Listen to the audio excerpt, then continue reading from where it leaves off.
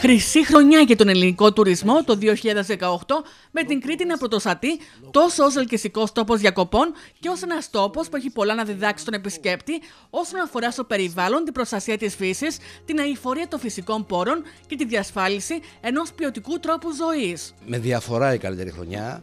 Ε, σύμφωνα με τα τελευταία στοιχεία μέχρι σήμερα ε, έχουμε φτάσει 32,5 εκατομμύρια τουρίστες. Είναι υπερβολικό το νούμερο, πάρα πολύ μεγάλο και τα έσοδα έχουν αυξηθεί περισσότερο από την αύξηση των τουριστών. Με τα αεροδρόμια των Χανίων και του Ηρακλείου να παρουσιάζουν αύξηση της τουριστικής κίνησης κατά 7,3 και 7% αντιστοίχως. This is your tale.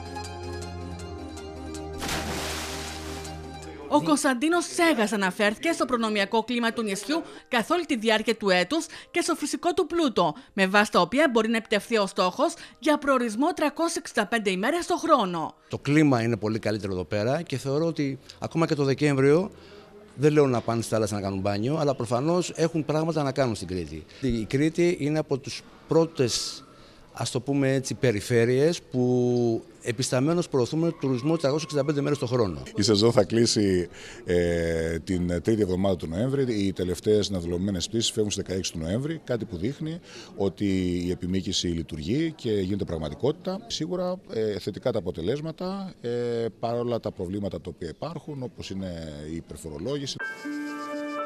Για την καλύτερη χρονιά όλων των εποχών στη Σιτία έκανε λόγο ο Θοδωρής Πατεράκης. Στο αεροδρόμιο της Σιτίας είχαμε μία αύξηση ε, αφήξεων της τάξης του 110%. Τουρίστες οι οποίοι ήρθαν στην περιοχή ήταν ελεύθεροι τουρίστες, δεν ήταν της λογικής του all inclusive, διακινούνταν στην πόλη και στα χωριά της πόλης και γι' αυτό είχαμε τόσα μεγάλα έσοδα. Η Ελλάδα είναι πιο ελκυστική ευκαιρία για ξενοδοχειακές και τουριστικές επενδύσεις, δήλωσε η Έλληνα Κουντουρά στο πλαίσιο Φόρουμ στην Αθήνα. Με τις πρωτόγνωρες τουριστικές επιδόσεις και συνεχή αιτήσια που εξασφαλίσαμε και τη δυναμική εξωστρέφειά μας ως ελκυστικός τουριστικός προορισμός 365 ημέρες το χρόνο, προσελκύσαμε την προηγούμενη τριετία περισσότερα από 350 επενδυτικά σχέδια σε ξενοδοχεία και resorts 4 και 5 αστέρων, δυναμικότητα ανά των 300 κλινών και στη Σιτία ξεκίνησε να υλοποιείται ένα μεγάλο project που αφορά την ανέγερση πολυτελούς ξενοδοχείου άνω των 800 κλινών. Αυτή τη στιγμή έχει ξεκινήσει και υπάρχει διάνοιξη των δρόμων είναι